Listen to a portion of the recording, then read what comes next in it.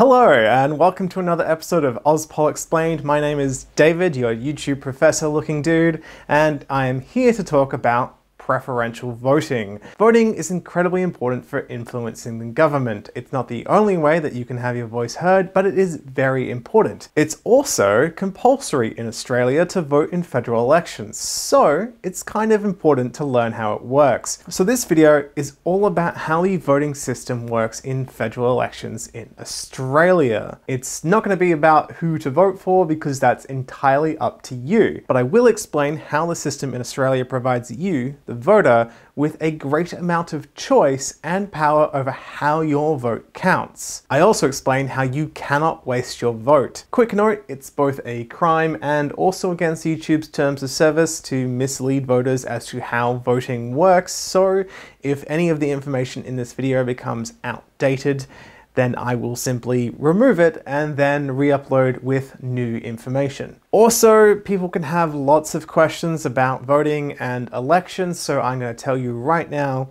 the official source of information on elections is the Australian Electoral Commission website, which you can visit at aec.gov.au. The AEC is your friend, as I keep saying. Most of the information in this video is going to be taken directly from that website because it is the official way to get this information. So let's begin. We have a system in Australia called preferential voting. What this means is that you don't just walk into a voting booth and yell, I like party A and no one else. We also have anonymous voting, so please don't yell out your vote anyway, just don't do that. It is strange. And also there is no party A. Preferential voting is pretty much exactly what it sounds like. You rank the parties from your most preferred all the way down to least preferred. It's pretty simple enough, but the way that you write down those preferences changes depending on which house you're voting in. There are two houses in Australian Parliament. There is the Senate and the House of Representatives. If you want to know about the differences between those two houses, I have a video all about that. One quick difference is the area in which members are elected from is different between the Senate and the House. The Senate is comprised of 12 members per state and two for internal territories, that is the Northern Territory and the Australian Capital Territory. The House of Representatives is elected based off areas of similar population size called electorates. So inner city electorates are really small in area and ones in the country are really large. They both have a similar amount of people living in them. So this means that a party can put forward multiple candidates for the Senate because there are multiple seats up during an election. Whereas in the House of Representatives, there is only one person per electorate, so one candidate per party. This means that the ballots look different for the different houses, and let's go into those differences right now. The differences. The House of Representatives is pretty simple. When you go to vote at an election, you'll have to go to a polling booth or vote by mail ahead of time, at which point you'll be given a green rectangular piece of paper it will have House of Representatives written on the top and then the electorate that you're voting in. And then there's a list of boxes with names and parties next to them in a descending vertical line. They have been placed in random order. Now, the instructions will be written on the ballot and there will be volunteers who will gladly answer any questions that you have, so if you forget any of the details in this video, don't panic, you'll be fine, it'll be okay, they are there to help you. There are also a range of accessibility options like telephone voting for voters who are blind or have low vision. And you can nominate someone to assist you with the ballot. I unfortunately don't have time to get into the detail of every single possibility for how to vote in any given circumstance, so please, again, there's aec.gov.au or the AEC's YouTube channel, AEC TV. It has videos on how to vote, including ones in various indigenous languages and Auslan. Imagine if me and the AEC did a collab. Now that's the dream. When will Senpai notice me? The way you vote in the House of Representatives is pretty straightforward you number every box from 1 to whatever number of boxes there are. So if there are 4, you number them from 1 to 4 from the order of which one you like the most to which one you like the least. If there are 8, then you number them 1 to 8. It's very simple. You fill in every box with a number. Ta-da! Voting. The number of boxes depends on how many political parties and independents are running in that electorate. So your friend, a suburb or three over, might have twice as many options to vote for than you. Also, quick voting note, don't put your name on it. Just don't. Voting is anonymous, so if you put your name on your ballot, it will be invalidated and not counted. This is not a school assignment, it's a ballot paper. So no identifying marks on it, just number the boxes. Voting in the Senate is a little bit more complicated, but only a little. The Senate paper is different. It's also a lot bigger, and as an added bonus, there are two different ways in which you can fill it out. Usually, elections for the House of Representatives and the Senate are at the same time. They don't have to be, but Usually they are. So, when you go to a polling booth or choose to vote by mail, you will likely be handed a large white piece of paper that says Senate ballot paper, along with written instructions on how to fill it out. On the top part are a series of boxes ordered horizontally, with a party name attached to them. There is also a thick black line that divides the paper into two. Below the line are more boxes, but they're in vertically descending columns underneath those party names, only now with candidate names attached. So above the line, you'll have like one box for Labour, one box for Liberal, one box for Greens, etc., etc. One box for the We Love Penguins party, you know. But below the line, there could be six boxes for Labour, six for Liberal, three for Greens, one for We Love Penguins Party. The numbers will vary. Now, there are two options for filling this paper out, above the line or below the line. You must choose one of these options. Above the line, if you choose to vote above the line, you are ranking the political parties that you prefer you fill out at least six boxes from 1 to 6. You may enter more numbers, you could fill out the entire line, but you must do a minimum of six. This is pretty straightforward, it just means that you're like, I like this party more than this party, and you may not have an opinion about the candidates. Below the line. If you choose to vote below the line, you are ranking the individual candidates as you prefer. As a party can put forward more than one candidate, you might decide that you actually like one better than the other and rank them accordingly. Or you could even potentially vote for every single candidate from a party except for one. Mix and match. Do basically whatever you want. This means that a party can put forward one candidate as their star that they're hoping gets elected, which means that they'll be the one on the highest box of the column, but their second choice gets so many people preferring them over the first option that number two gets elected. Admittedly, that's unlikely, but it's possible, and voting below the line is a way to exert as much control over your vote as you want. Multiple people are getting elected every Senate election, so you could vote for every candidate put forward by a major party and they could all get elected. Congrats! Your top 5 best picks are all winners. To vote below the line, you must fill out at least 12 boxes from 1 to 12. You can fill out every single box if you choose, but you must fill out at least 12. Because the Senate covers an entire state or territory, that means that the voter base for a party doesn't need to live in one area like the House of Representatives. This is why it's easier for minor parties to get into the Senate. They only need to reach a certain quota to get a seat. This means that a lot of parties will appear on the Senate ballot paper that you did not see on the Green House of Representatives ballot paper. And this may result in a very large paper.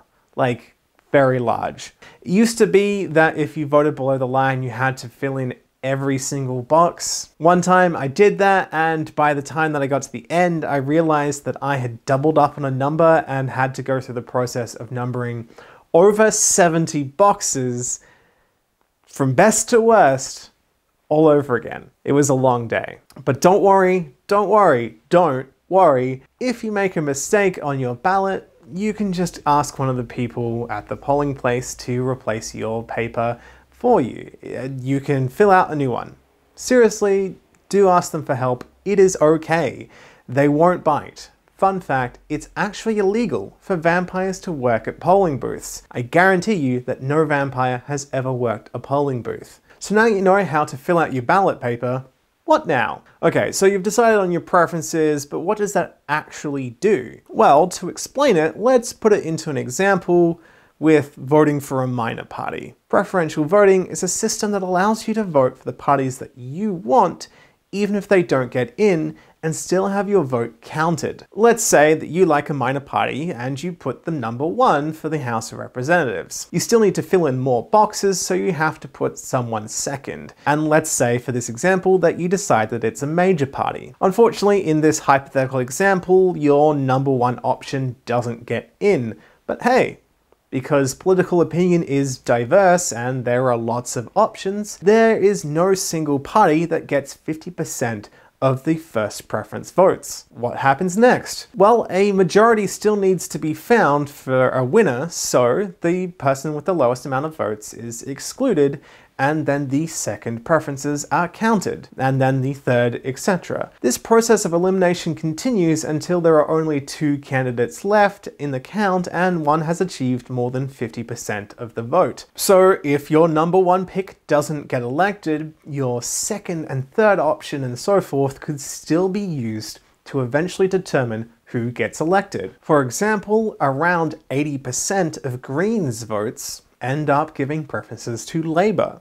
And also, similarly, a lot of One Nation votes end up getting preferences to Liberals and Nationals. So even if you're a minor party voter, your opinion on which major party is better can still affect which one gets elected. So why bother preferencing minor parties at all if it ends up going to major parties anyway? Look, okay, so the idea that all preferences go to major parties is cynical and inaccurate. Yes, the majority of seats in both House of Representatives and the Senate do go to major parties. That's why you call them major parties. But there's also some that don't. As I film this, there's the Katter's Australian Party, there's the Centre Alliance, there are a few independents, and there's the Australian Greens, all within the House of Representatives, which, as I told you earlier, does not have the best success for minor parties. And in the Senate, there's also members of One Nation and Jacqui Lambie. So, voting for minor parties and independents can actually just get them in. Without preferences, people would likely be less confident voting for minor parties and thus limit their electoral success. This allows for you to have more democratic options for expressing yourself at the ballot than simply being given only one box to tick. Even if you don't think a party will win, it's still your democratic right to have your voice heard and support them. So the system basically doesn't punish you for voting for who you like, and so if you wish, you can vote for a minor party first and then preference a major party. Plus, if a party or candidate gets at least 4% of the total first preference votes in an election, they're entitled to funding from the AEC to reimburse them for electoral costs. So, even if the party you really like doesn't get in, you might get them funding that they can use for the next election and potentially do better. And if a party has a larger voting base in an electorate than other places, they may realize that they need to focus their resources in that electorate for the next election for potentially a better chance of success. So this might be a minor party increases its chances of a seat in one particular area, or it could be that a major party realizes that support is slipping in one electorate and needs to work harder to preserve its chances of electoral success. It's not all about helping minor parties get elected, although that is a benefit, it is, you know, also beneficial to major parties. Around two thirds of electorates actually require preferences to be counted to find a winner. Admittedly, fewer than 1 in 10 see the leading candidate in primary votes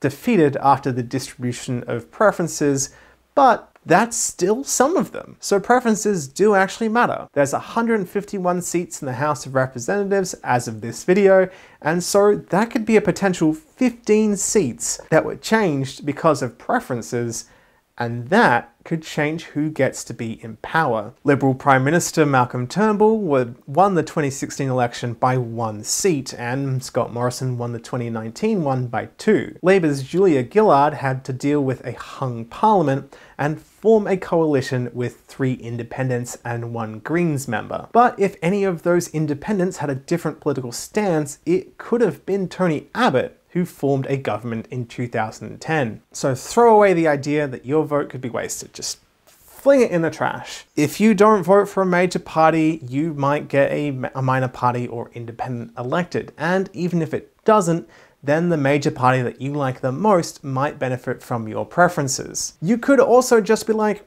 I really like this major party, I will put them number one, and whoever is number two or lower, I don't really care about.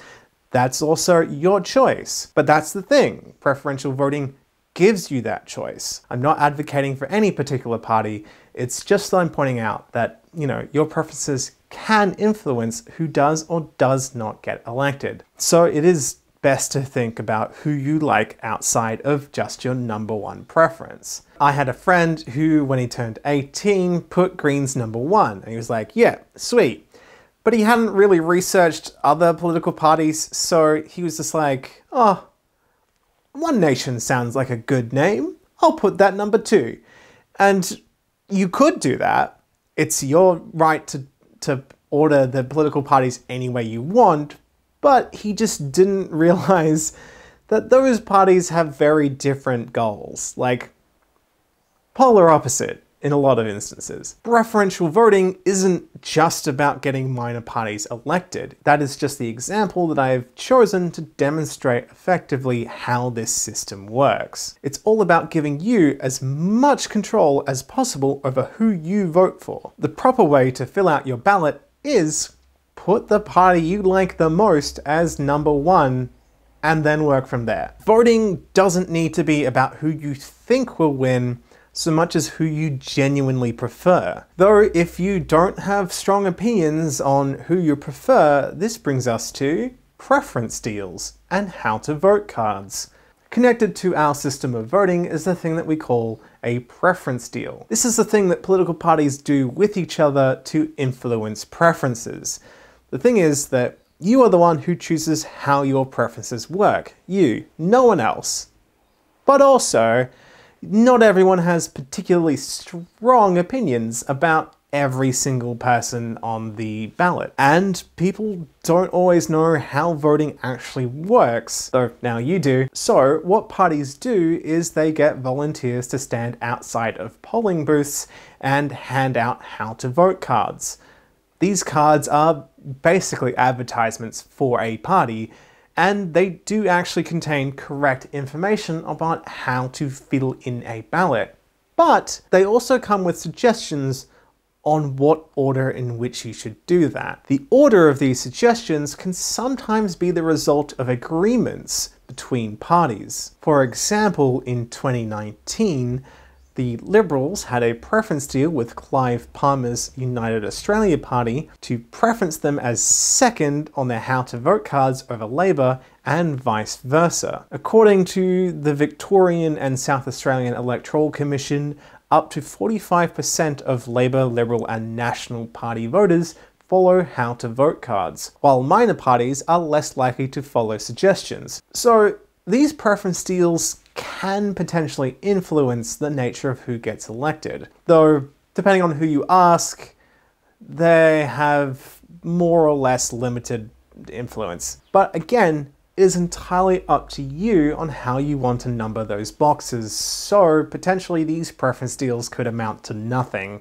Either way, it is best to think about who you want to vote for ahead of time. How you fill out the ballot should reflect your ideas of who belongs in government. If you don't have a strong opinion outside of who your number one preference is, feel free to take one of these how to vote cards from your preferred party, though do note that not all parties do these things. I know that I have kind of stressed the importance of these preferences, but don't be too worried. Don't worry, don't worry. Opinions about political parties take time to develop, and no one expects you to be an expert the moment you walk into a polling station. It's fine. Just please take time to look up the policies of the different political parties and come up with a general idea, at the very least, of which ones, you know, appeal to you and which ones don't. Like and follow news outlets like the ABC on Facebook and Twitter, and over time you'll have read a bunch of news stories and get an idea of what politicians have been doing. You'll see how they stand on certain issues and you'll just get an opinion naturally. You'll figure it out. I believe in you. I will be making a separate video on how to figure out what political parties align with your beliefs closer to an election in the future, so subscribe and hit that notification bell. And as always, if you have any questions about how voting works in any particular given context, check out aec.gov.au. The AEC is your friend, as it is my friend as well, even if it never responds to any of my birthday party invitations. One day the AEC will know how much I love it. One day. So there you have it. Thank you so much for watching. Preferential voting is a system where you get to rank political parties from how much you like them to not like them. It allows you a lot of control over who you want to vote for and can influence who gets elected, even if your number one pick isn't the one who wins. It is a system designed to make sure that you don't waste your vote. And who you vote for is entirely up to you, so please put the numbers in whatever order you feel suits you best. I hope this has helped you feel more confident and empowered when it comes to voting in an election. So thank you very much for watching. Feel free to comment down below what you would like to learn about next, share, subscribe, all those things, and feel free to support me on patreon.com, link in the description. There is also a copy of the script with citations included in the description so you can read more about what I have talked about in this video. Thank you very much and I will see you next time.